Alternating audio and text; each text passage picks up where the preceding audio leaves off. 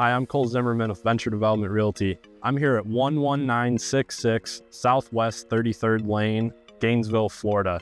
This is a six bedroom, four full bathroom, ICI Homes Bel Air floor plan located in the prestigious community of Oakmont.